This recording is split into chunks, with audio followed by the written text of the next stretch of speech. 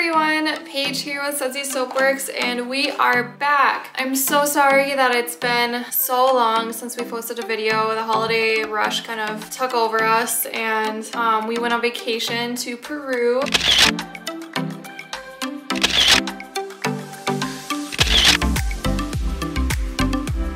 Just got back a few days ago. So we are getting right back in it and are going to film a bath bomb video for you guys. So we're gonna be making a Valentine's Day bath bomb.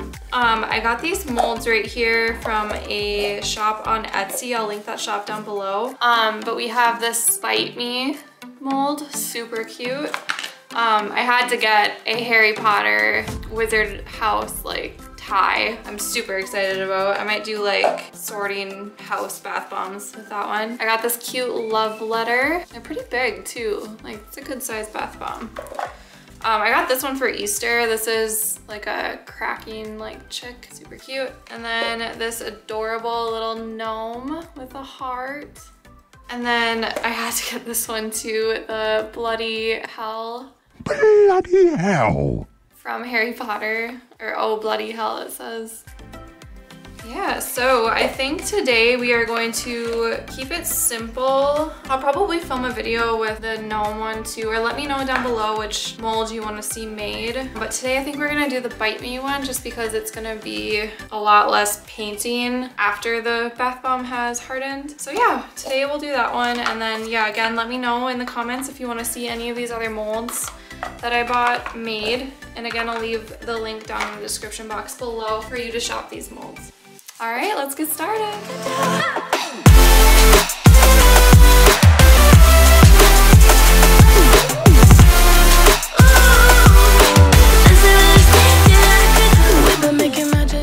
So in here and in this bag right here, I have my embed powder.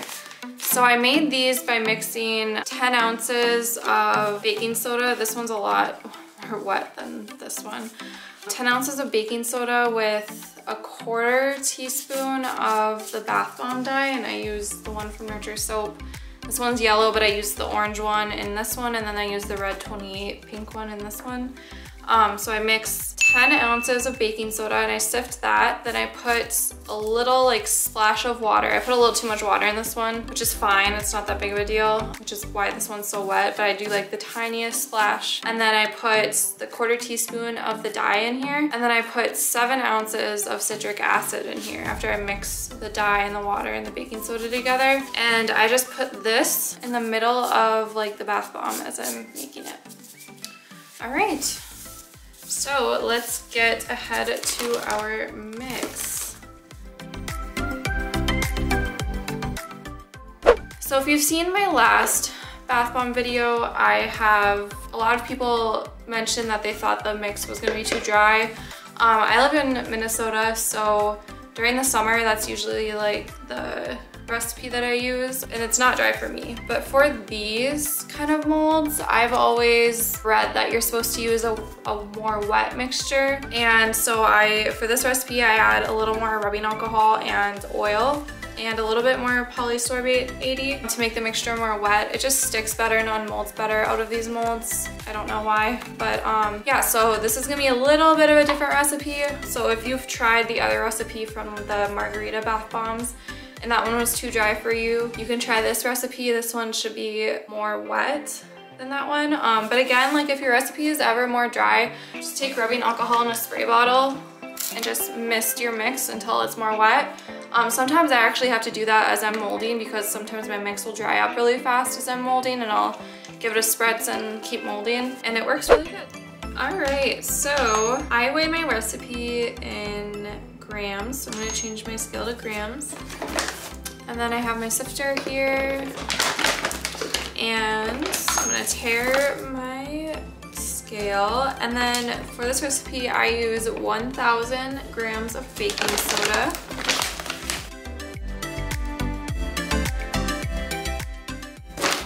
There we go. All right, and we're just gonna sift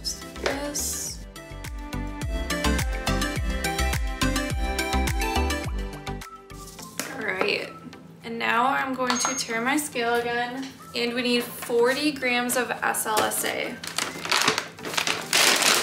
SLSA, it's not necessary to add. You could just replace it with either the ba more baking soda or more cornstarch. Um, but it does help the bath bomb foam, not just bubble, but it like foams and creates like a bunch of foam and it's really pretty um, and it kind of adds to that luxurious experience. So I'm gonna add 40 grams of this. And then I always add 10 grams of kaolin clay. And 75 grams of cornstarch. Um, because these powders can go airborne, I highly recommend wearing um, a mask. I have an N95 mask right here. Um, it's really not good to inhale this, especially the SLSA. So I'm just gonna sift these together really slowly so these powders don't pop up at me. There we go. All right, so I'm just gonna give this like a gentle mix just to mix in those ingredients with the baking soda.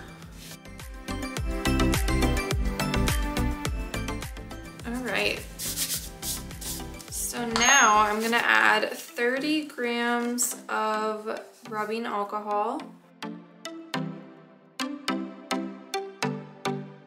And then I'm gonna add 15 grams of distilled water. And today I am using the Love Spell fragrance oil from Midwest Fragrance Co. I used to use the Love Spell fragrance from Wholesale Supplies Plus. Um, this one smells actually more like the Love Spell fragrance from that really popular lingerie store. Um, so I actually put 14 grams of this. I did make a video um, on my top fragrance oil suppliers, but that was before I discovered Midwest Fragrance Company. I actually am buying like the majority of my oils from them because they are so affordable and they ship very fast. Like they usually ship next day. So I've been ordering most of my stuff from them. They're pretty new still, so they're still coming out with quite a bit of um, new oils. But yeah, go give them a follow on their Facebook page and you get so many tips and tricks for product formulating, um, people asking questions about their products, about the oils, like it's such a good community. All right, so I have Polysorbate 80 here. I'm gonna add 10 grams of this.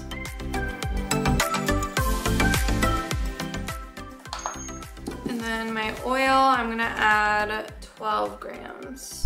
Or sorry, 15 grams, my bad. All right, so 15 grams of the oil. Now I'm gonna give this a big mix.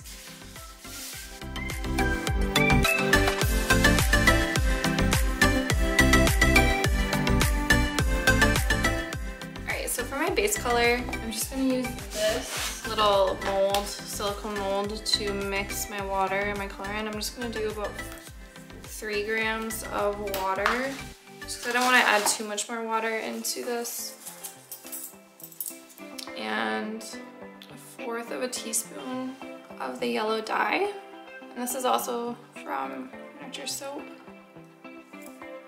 Sometimes it's easier to have warm or hot water. It helps to activate the dye. Um, get it all mixed in. All right, so I'm just gonna pour this in here.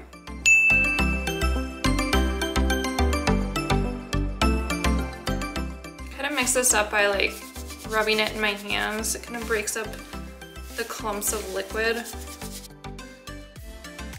All right, so I'm gonna keep mixing this up until it's nice and smooth and everything's incorporated and we'll be right back. All right, so that's pretty well incorporated. Now it's time for our citric acid. So I get my citric acid, it's in this bag right here from Amazon.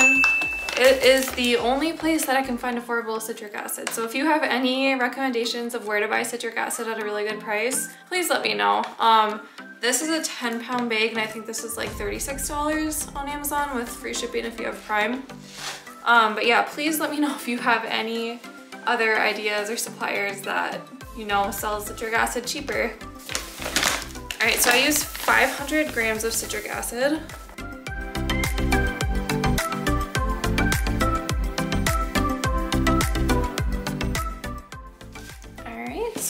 incorporate this. Get rid of the scale now, we're all done with that.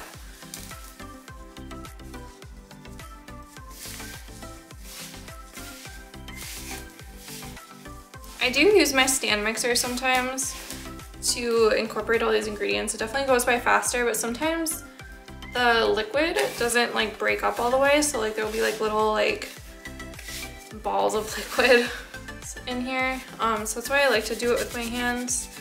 If I make bigger batches, then I usually use the stand mixer. And if I make colored batches, I usually do this with my hands. If the whole batch is just gonna be white and uncolored, and I end up painting it, then I'll use the stand mixer. All right, so I have my parchment paper here, and my molds, and my powders are right here. So those will be, I'm gonna actually put these on the side.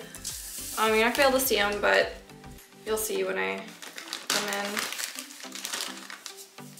All right, so first, a good trick with these molds is to pack all the details first. Um, so I usually only put a little bit in at a time. And I've actually never used molds from this company before, so this is the first time I'm trying them out. I'm sure they'll be amazing. So I just make sure I pack all of the details really good first.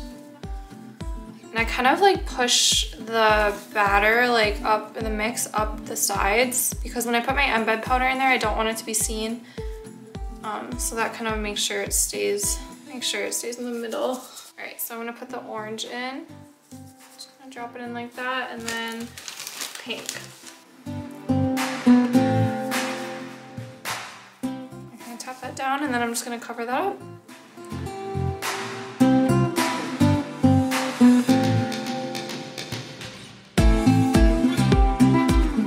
Alright, sorry guys, my camera died. Um, so I'm gonna quickly pack this again. Um, the mold works great, by the way. And I'm gonna put the embed powder in.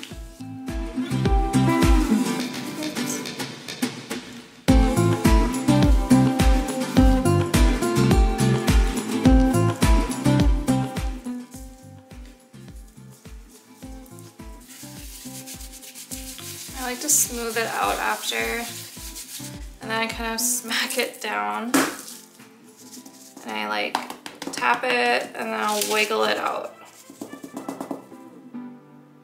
There we go. So cute.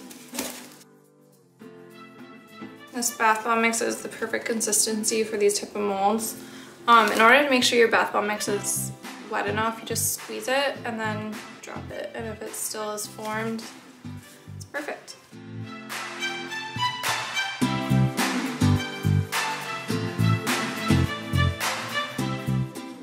Just pushing it down on the table. Make sure it's at a flat surface. Surface. It keeps kind of cracking in the middle. And then smack it down. These are pretty big bath bombs. There we go. And after I mold these, I'm gonna let these sit overnight to dry and then I'll bring you back in the morning to paint them. I love painting the bath bombs. I actually bought an airbrush machine for these Grinch bath bombs. Well, for coloring or for painting bath bombs, but I bought it when I wanted to paint these Grinch bath bombs and it helped so much.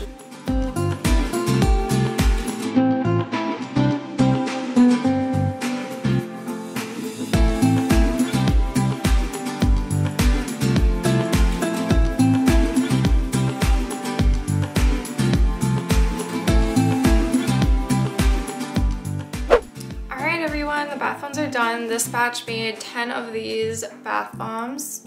Um, I will be using one for a demo that I'll show you at the end, but stay tuned for tomorrow and we'll start painting them.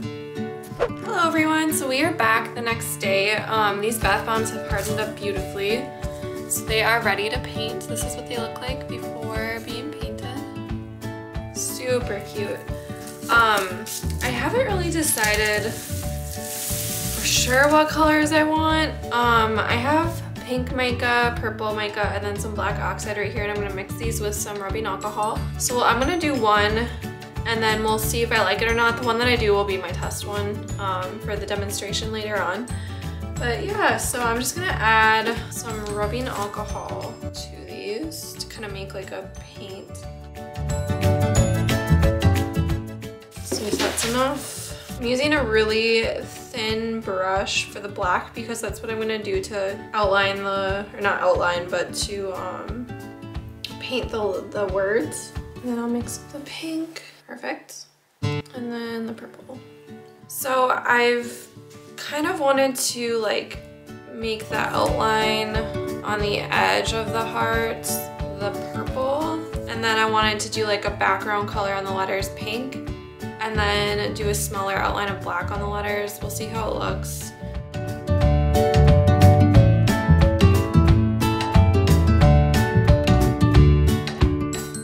just gonna be painting the rim.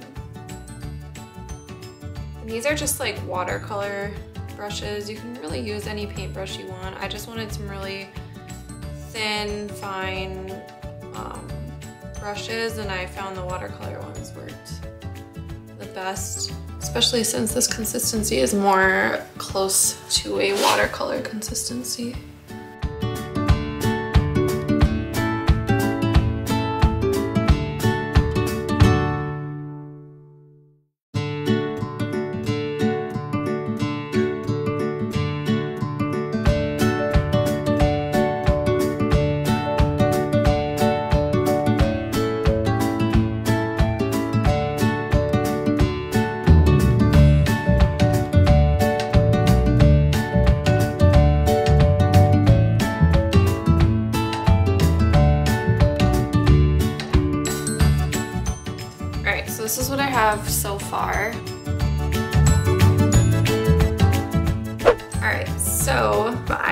Ahead and I kind of like this effect. It's kind of hard to see, but I first painted the bite mark purple, like half purple and half pink. And then I went over it with black and it has like this cool like iridescent effect. It's really hard to get on camera. So you can see like the pink underneath and then let me try to flip it. And you can kind of see the purple. So I think I'm gonna do that. I kind of like how that looks. Um, and I'm just gonna stick with the purple around the edge, no gold. All right, we have it figured out. Hopefully you guys like this. All right, so I'm just gonna cycle through painting these. Um, I'll play some music. I'm not gonna talk during this time since I have everything ready, so enjoy watching.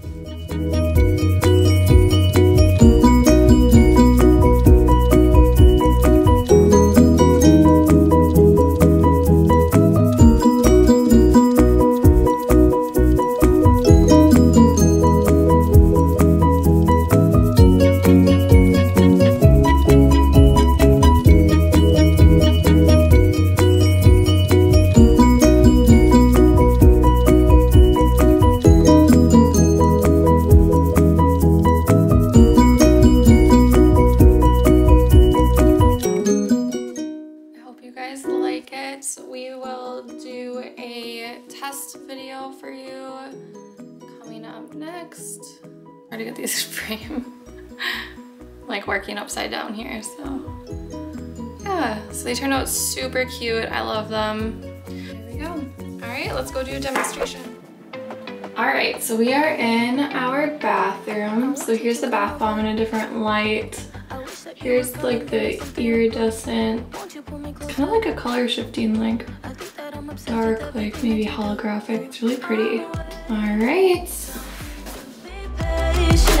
You look like a painting.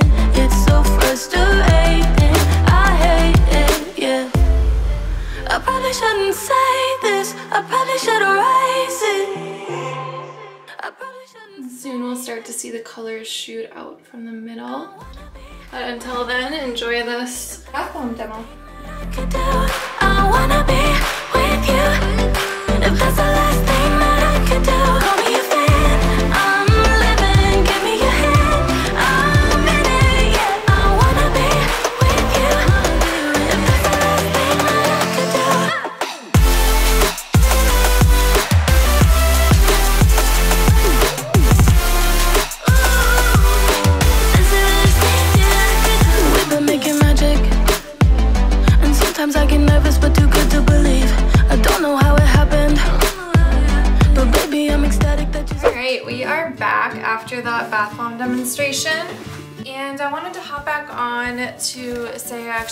Changed the painting design again, and I'm gonna show you how I do it. So here is what I planned on doing. So I'm gonna do stripes on the side. I think that looks super cute. And it definitely makes the bite mark more noticeable and tie in more. So I'm gonna do that. So I'll show you how I do it. So I have my mica paints here just like before. And I have this bigger like flat head brush. And I'm going to load it up with some purple. And I'm gonna just paint one stripe with it. And I'm gonna do that all the way around and leave a space for the pink. Goes by pretty quick. It's just a cute extra little touch. Makes it look like a little gift box. And I'm just gonna clean off my brush with some more rubbing alcohol. And now I'm gonna grab some pink. Just go in those spots. It's running a little bit, a little too much on my brush.